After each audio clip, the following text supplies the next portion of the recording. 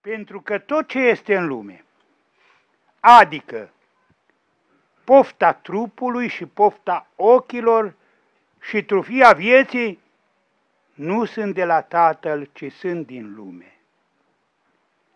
Prima epistolă a Sfântului Ioan, capitolul 2, versetul 16. Preacucernice Părinte Consilier, Preacucernice Părinte Protopop, Preacuvioși și preacucernici părinți, Preacuvioasă Maică Stareță, Preacuvioase Maici și iubiți frați și surori. Momentele pe care le-am trăit în seara aceasta sunt de o profunzime și de o sensibilitate aparte. Pentru că încă cinci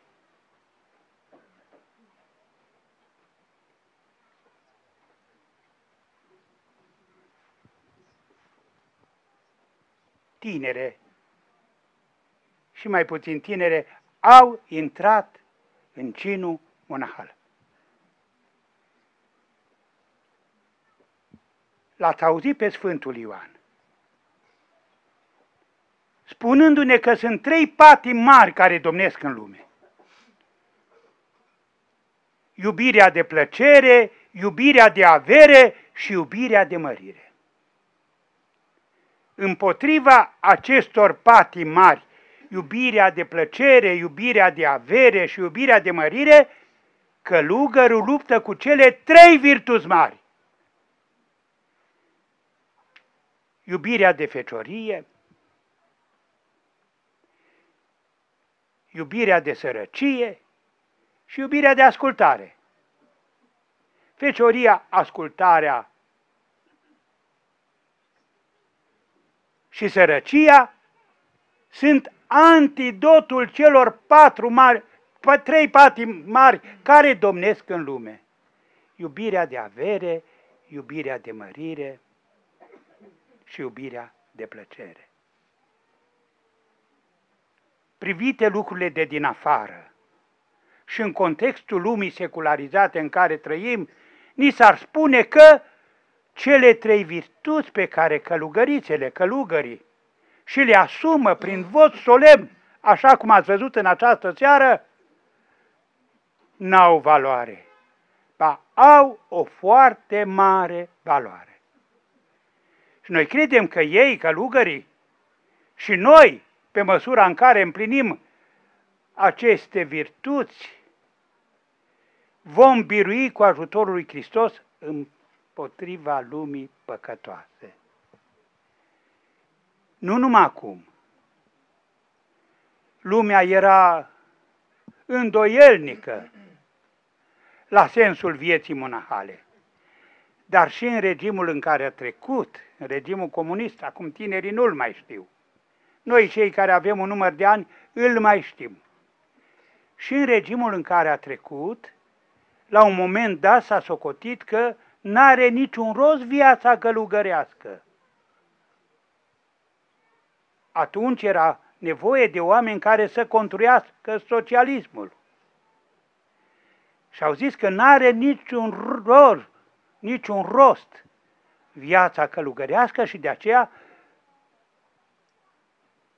în anul 1959 au dat un decret, decretul 410, prin care călugării mai tineri erau izgoniți din mănăstire și unele din mănăstiri au fost chiar desființate. Pe acest motiv, că cei ce merg în mănăstire trândăvesc și nu sunt de folos societății. Ori tocmai în această, acea perioadă, cel mai mare teolog al nostru, Părintele Dumitru Stăniloae, a scris un studiu. Nu-i pomenea cu numele pe conducătorii țării dar la ei s-a gândit. Și studiul părintelui Stăniloae s-a numit Sensul vieții monahale. Și rezum, zicea părintele Stăniloae, nici pe departe, ca monahul sau călugărița, să fie niște trândavi, din potrivă, ei sunt niște oameni harnici. Nu s-au retras din lume pentru că urăsc lumea, s-au retras din lume să se roage pentru lume. Sunt oameni puternici și cavaleri ai Duhului Sfânt. Iar armele lor împotriva răutăților din lume sunt cele duhovnicești. Postul, rugăciunea, nevoința de orice fel, asceza.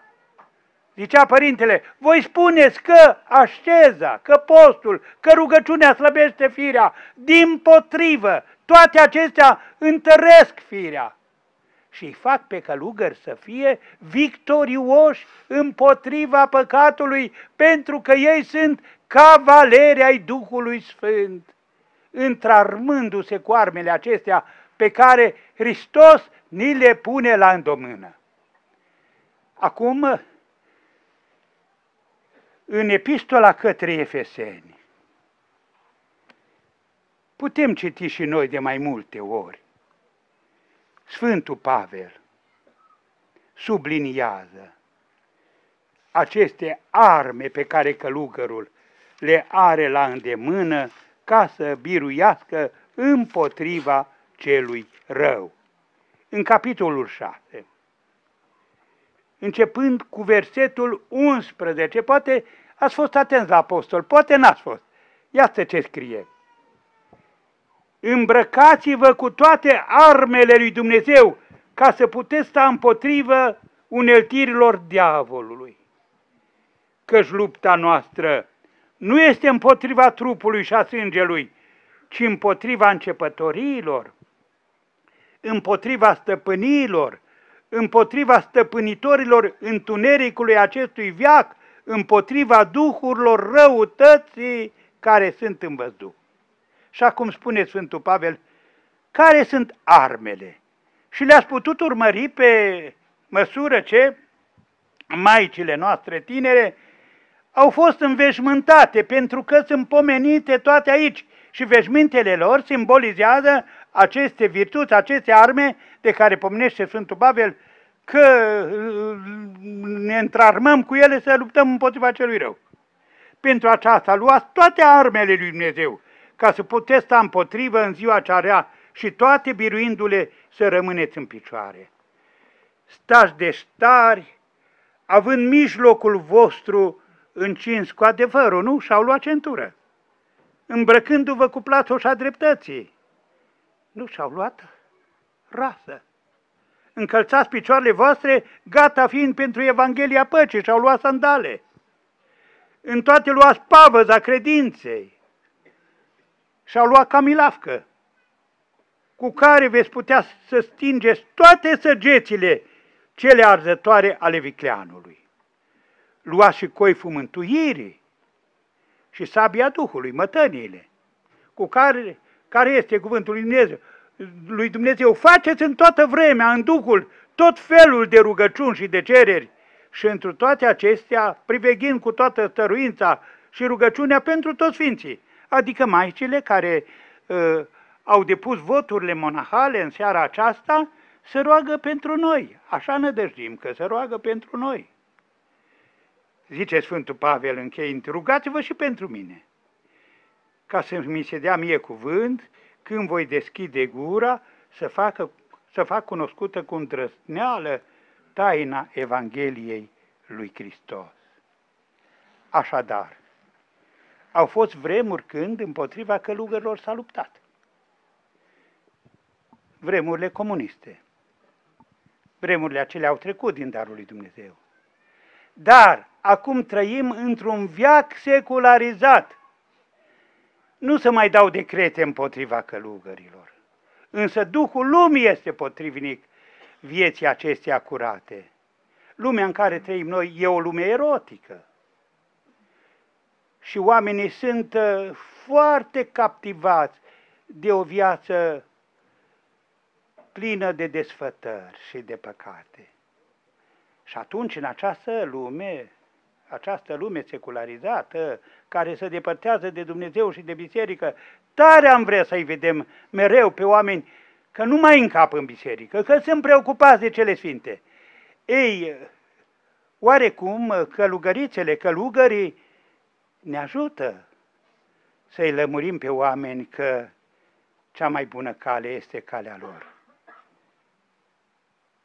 Căutați mai întâi împărăția lui Dumnezeu și dreptatea lui și toate celelalte vi se vor adăuga vouă. Așa spune Mântuitorul Iisus Hristos.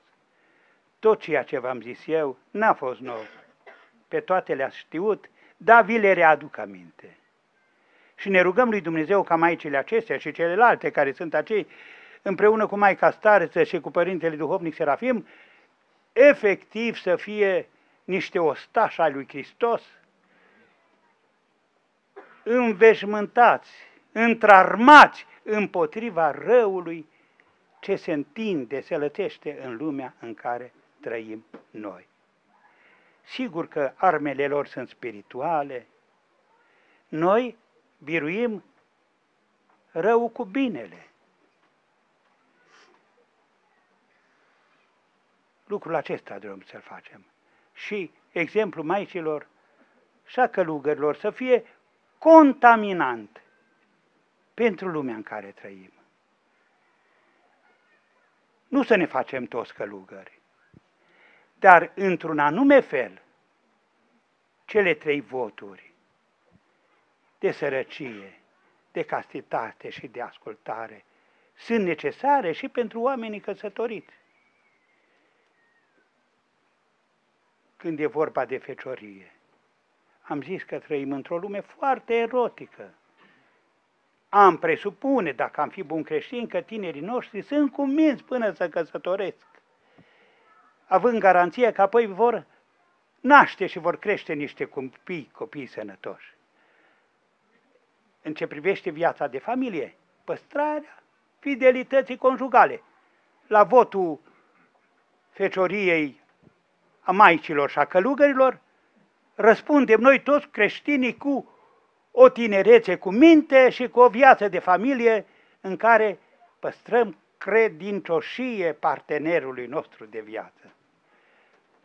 În ce privește sărăcia, sigur că, având familie, avem nevoie și de bunuri materiale ca să ne creștem copiii, să-i purtăm la școală, dar acestea nu trebuie să ne captiveze într-atât de mult încât să devină un Dumnezeu pentru noi și să uităm de Dumnezeu. Iar ascultarea. Nici fără ascultare nu se poate ca să meargă lucrurile bine. În mănăstire, călugării, călugărițele, ascultă de duhovnic, ascultă de stare. În viața obișnuită, noi creștini, toți, ar trebui, din punct de vedere spiritual, să ascultăm și noi de duhovnicul nostru, ar trebui ca în casa noastră să ascultăm unul de celălalt. Soția de soț, soțul de soție, că atunci toate lucrurile ar merge bine. Acum ne provoacă să ne gândim la toate acestea, măicuțele care s-au călugărit în această seară și au depus cele trei voturi. Feciorie, ascultare și sărăcie.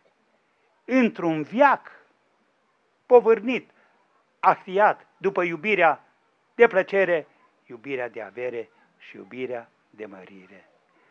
Îl rugăm pe Dumnezeu să-și poată duce foarte bine voturile pe care le-au depus și să rămână această mănăstire un far de lumină pentru zonă și nu numai, pentru toți credincioșii care vin cu drag aici.